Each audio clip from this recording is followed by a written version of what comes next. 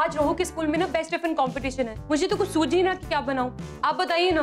तूने बताया नहीं पहले? अभी बताया इस पागल ने। क्या करूँ मैं भूल गया था। हम्म कोपरा है? हाँ खोपरा है। हम बन गया?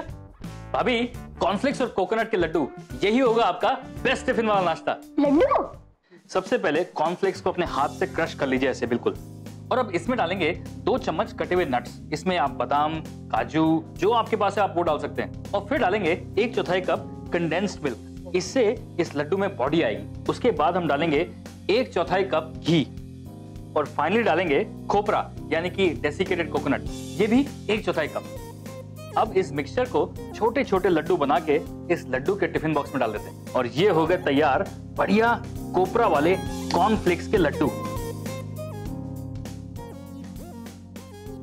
ये हो गया हमारे लड्डू का best tiffin box thank you और बाय जीत के आना है इन्होंने बहुत मेहनत की है ठीक है? Bye Anju uncle bye mom bye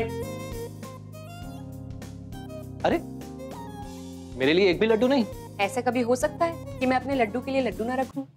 मैंने पहले ही बचा लिए थे। हाय हाय।